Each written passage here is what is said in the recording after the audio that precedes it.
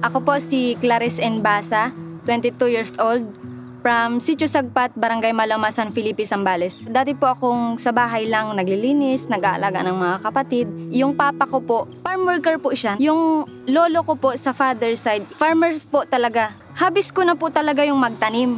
Sa school po, nung high school pa lang po ako, Mahilig po ako yung sa klase po namin TLE. Favorite subject ko po yun. Kaya parang napapagaan po yung loob ko pag yun po yung subject namin pag about sa pagtatanim po yung topic. Nalaman ko po na may training si TESDA ng RCEP.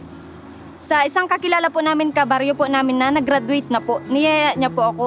Nalaman ko po yung tamang pag-aabono, yung tamang pag-aalaga mula sa pag-prepare po ng lupa, pagpilit ng binhi, yung right element, right time, tsaka yung amount, So, napag-usapan po kasi namin nila papa ko, ng pamilya namin na yung lupa po nila papa ko doon malapit sa bundok, taniman daw po namin.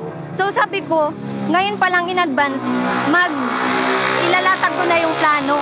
Total, alam ko naman na po yung dapat gawin. So, ilalatag ko na yung plano para kapag yun na yung time na magtatanim na kami, yun well prepared na po. 100% po sure na masaga ng ano po, ani. Hinihikayat ko po yung mga kapwa ko kabataan na ipurso po yung pagsasaka kasi po, ano po bang kinakain natin, di ba po? bigas. So yun po, pagtrabahuhan po natin, sikapin po natin mapasagana po yung supply po natin ng bigas para hindi po tayo ma-short.